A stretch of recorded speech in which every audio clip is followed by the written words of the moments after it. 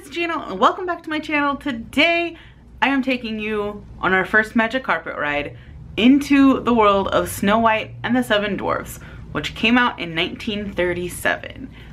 I'm really excited to start this series and Snow White is the first of the princesses.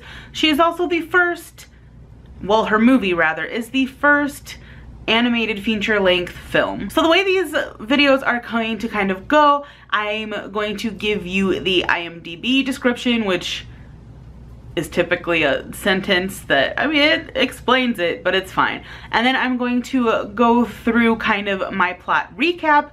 Then I'm going to give you some information, including history and some fun facts that I found. And then at the end, I'm going to go through my overall thoughts watching it now as a 20 something year old adult instead of a child and I'm pretty excited and kind of give you some of my thoughts from the last time I watched it or like if it's one I watch a lot spoiler it's not and that's kind of how this is going to go. I will say that all of these videos will be spoiler filled. So if you have not seen Snow White and the Seven Dwarves and you don't want spoilers, which I feel like you probably know what it is if you haven't seen it.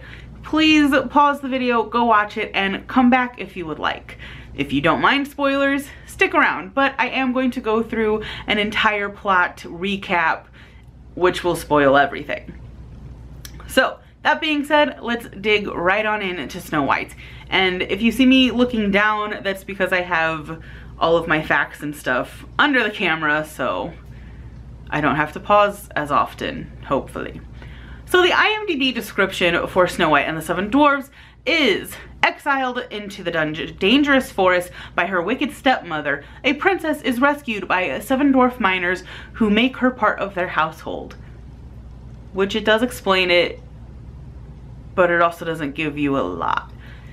So, my kind of plot recap, if you will. I did write all this out, so that is why it's gonna feel like I'm reading. Yeah, I'll get used to reading things in later videos. But my plot recap for this is, this is the story of Snow White who has gone into hiding from the evil queen because the evil queen wants her dead because she's the fairest and the evil queen wants to be the fairest of them all. So she has the huntsman take her into the forest to kill her, tries to get him to take her heart out and put it in this box, he feels bad for her and tells her to run and hide and don't ever come back. And then he kills a pig and puts a pig's heart in the box. Spoiler alert, it doesn't end well. Um, so there are woodland creatures who help her find this cottage to kind of help her escape and everything. So she goes into this cottage and she sees various things in sevens. So like there's seven little chairs and then eventually she goes up into the upstairs and there's seven little beds. She initially thinks that it's seven little children that are living there who don't have a mother and she sees how dirty and disgusting the room is and there's cobwebs everywhere, dishes everywhere, clothes everywhere. So she decides to take it upon herself to clean which I I don't know. Have y'all ever entered someone's house and it's like oh this is disgusting. I'm gonna clean while you're not home. Like unless they ask you to. I wouldn't. Cleaning is not fun. But she has the woodland creatures help her clean and they dust and mop and do dishes and do laundry and all kinds of stuff. So after that whole sequence she ends up going to sleep in their beds and ends up like sprawling across three of them, which again, why would you go to sleep in random people's beds that you don't know, first of all, and two, they don't know you're there. Like, she's lucky she didn't get killed by the dwarves. I digress. Um, so the dwarves come home from their mining excursions of that day, and they discover that their house is clean. So they're freaking out. They don't know what's going on. They eventually go upstairs or rather have Dopey go upstairs and try to see what's happening. Snow White is in a bed sheet and she looks like a ghosty monster thing because she's like stretching and it's like all monstery and Dopey freaks out and then they go almost kill her. Luckily they ripped the sheet from her head and saw that she was a girl and not a monster. Otherwise the movie would have ended there. Maybe. So they eventually kind of like get her story and she sees that, oh, they're actually seven little men, not seven children. And then they start working together and they build a happy relationship and it's fun and dandy. And then the queen realizes that Snow isn't dead, transforms herself into an old hag, poisons an apple, finds Snow White, feeds her the apple, Snow eats it even though the animals and the dwarves try to help her and not get her to eat it and like try to take down the witch or well the queen who turned into the old hag. Kind of similar to Beauty and the Beast really if you think about it. I digress. Uh, she ends up going under the sleeping spell. The prince comes in, kisses her, loves first kiss, she wakes up, movie's done. They live happily ever after. I didn't read my description at all. I don't know if you could tell. So that is uh, pretty much the story of Snow White and the Seven Dwarfs. If you can't tell from my uh, recap, I'm not a huge fan of this movie or of like her as a princess, but we'll get to that in a minute. There are multiple characters in this, if you know. There are the seven dwarfs, Doc, Dopey, Sleepy, Grumpy, Sneezy, Happy, and Bashful. So there are the seven dwarfs. And then we have Snow White, who is played by Adriana Caselotti. I think that's how you pronounce that. And one thing that I did notice with the casting of this is Sleepy, Grumpy, and Dopey are all played by the same person, or rather like Dopey when he's doing the bubbles because he doesn't speak otherwise. And that person is Pinto Colvig. So he voices all three of those characters wouldn't have been able to notice had I not known going into it. So the history of Snow White and the Seven Dwarfs. Snow White and the Seven Dwarfs is the first full-length feature hand-drawn animated film and it's also Walt Disney's first animated film and feature-length animated film. I already said that. We know this. It is based on the story Snow White by the Brothers Grimm, and in the film's initial run, it earned $8 million in international earnings. It was so popular that it had many theatrical releases time and time again throughout history and it wasn't released on home video until October 28th of 1994. Eventually it got put out on DVD October 9th of 2001 and then Blu-ray October 6th of 2009. I got my copy about a month ago because I don't really care about Snow White. Although the film was nominated for Best Musical Score, it lost to 100 Men and a Girl, which is a comedy musical about a daughter of a struggling musician who created an orchestra with all of his friends. And I actually looked up kind of a trailer and it sounds interesting, but the movie lost out to that musical and Walt was not happy. Uh, he eventually, the following year, was awarded an honorary Oscar for Snow White, but he didn't want the honorary Oscar, he wanted his own Oscar. So he worked very hard to get that Oscar and was disappointed that Snow White did not win. The estimated budget for Snow White and the Seven Dwarfs was $250,000, 10 times the budget of Walt's short film series Silly Symphonies, which is a lot of money.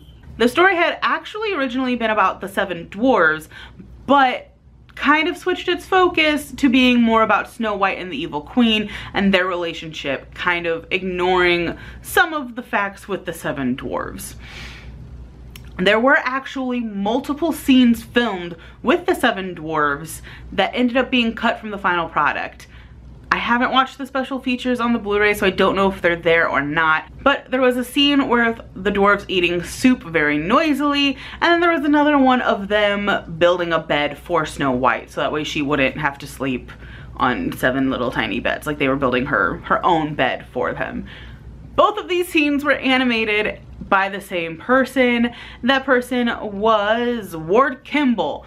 Ward Kimball was very discouraged after this because his two scenes got cut and Walt really liked the animation that he did. He didn't really want Ward to quit, but he was wanting to quit because he felt unwanted and he didn't he wasn't really confident after that.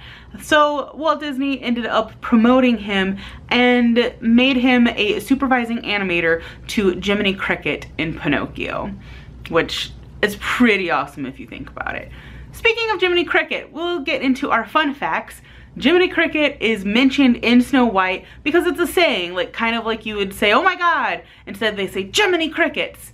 They say it two or three times I caught, I believe, which I just thought that that was a fun little Easter egg almost since Walt then took that phrase and made a character for Jiminy Cricket and had one of the animators that worked on this film, even if his scenes were cut, be the supervisor for Jiminy Cricket, which is just really fun. The girl who plays Snow White, this is interesting. Adriana Caselotti has five acting credits. The reason she only has five acting credits is because Walt didn't want her to do any other voice work because he thought that her voice was unique and special and wanted Snow White to stay pure and basically untainted. He didn't want her to be recognized in anything else and be like, oh, that's Snow White. He wanted the illusion that Snow White really is this fairy tale person. So he didn't let her work on anything else, which is insane. She's in like the background of The Wizard of Oz. And then credits that she has prior to Snow White include Naughty Marietta, which was came out in 1935. She played a dancing doll. And then The Bride Wore Red, which she was a peasant girl that came out also in 1937 along with Snow White. After Snow White, she was a like choir singer in It's a Wonderful Life in 1946. And again, she was a background character in The Wizard of Oz in 1939. Adriana was actually born to an opera family.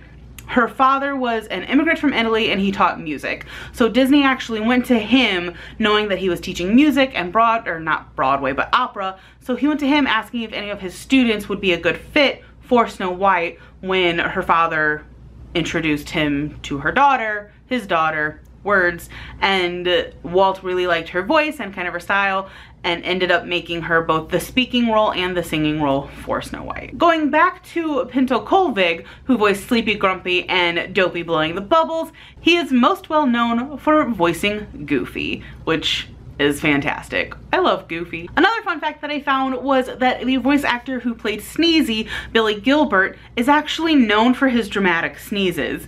He's it's that's like what why would you want to be known for your dramatic sneezes but it turned out to be good for him he's credited on imdb for 228 films including well, I wouldn't say it was my favorite, but one of the films that I really enjoy and I kind of want to watch again after knowing this, His Girl Friday.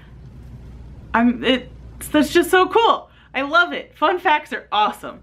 Um, he was the model and voice for Sneezy, in part thanks to his sneezing routine. Like, he's known for his dramatic sneezes. And eventually Walt was just like, yes, Sneezy.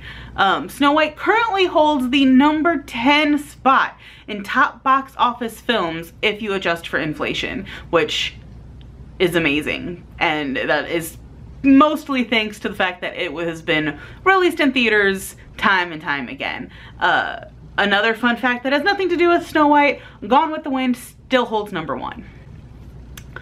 Disney encouraged his staff to see a variety of films which had influence not only on Snow White but other films within the production, like within the Disney studios, all ranging in different genres. So he had them go see a bunch of different films.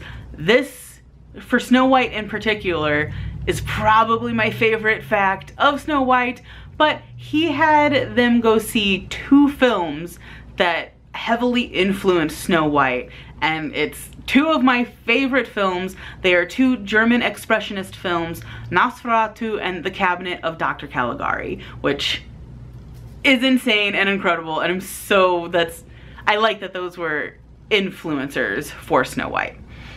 So that is all I have for history and fun facts. Now for my overall thoughts and feelings and somewhat review of this movie. First of all, the animation in this is stunning. I love the hand-drawn 2D animation. In some ways, I like it better than the animation we have now. The animation we have now is good, don't get me wrong, but I just really like the hand-drawn 2D stuff. Yes, I know it takes forever and that uh, probably never gonna go back to it, but it's just beautiful, especially like the restorations that they did to put out the Blu-ray. it's it's beautiful. The animals are fantastic. The uh, lake that there is with the reflections and stuff is just stunning. All of it is great. And I know that Disney uh, actually sent some of his people like to go study like real life animals. I know he did it a lot for Bambi. I'm assuming he did it for Be or for Snow White as well. But he had them actually study animals to like record how they move so they could get proper movements for them and which is just it's it's an art form. It is truly an art form and that's probably why it is still so popular today. Out of the seven dwarfs, I think Dopey is my favorite. I don't know, I just I just love him so much and the fact that he's nonverbal and he's got to be very expressionate. And the scene with him blowing the bubbles is my favorite because it's just so cute. I love Dopey. All in all, this isn't my favorite. It's never been my favorite. Uh, I have actually watched this rather recently. I had to watch it in my film history class back in 2012. So it's been fairly recent. I haven't seen it prior to 2012 since I was a kid probably, but again, it's not one of my favorites. As far as like the 11 princesses go that I have seen the movies of, because there's two I haven't, she is my least favorite, which, sorry Snow, it's just what it is. I can respect her and I can respect it as a movie, but I just, I don't, it's just not my thing. Uh, I will probably watch it again now that I have it because it is a good film like animation wise but it wouldn't be my first choice if I were to watch a Disney film. The songs are catchy. I do like the uh, Whistle While You Work and the Hi Ho song. I was singing along and dancing along and they're fun, they're catchy, but overall it's just kind of meh. For me, it's not something I would rant and rave about, but it's also not something that I would complain too much about. It's just kind of there. And that is really all I have on Snow White and the Seven Dwarfs. I hope you guys enjoyed this video. I really do. I'm excited to continue and hopefully uh, we'll get a little smoother with how I put things in order. It's fine. It'll be fine. Everything is fine. I'm really excited. The next magic carpet ride we will be going on is through Cinderella and hopefully that will be up within the next week or two. I I, I'm just, spoiler, I liked Cinderella a lot more than I thought I did. So that's gonna be a fun, fun video. So thank you guys for joining me on this magic carpet ride. If you enjoyed it, please be sure to give it a big thumbs up and subscribe for more magic carpet rides in the future. I hope you're all having a fantastic day. I'll see you guys next time. Bye.